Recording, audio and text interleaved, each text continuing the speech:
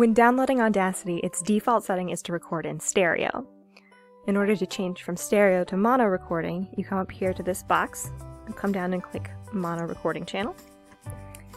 And then you can see it records in mono instead of stereo now.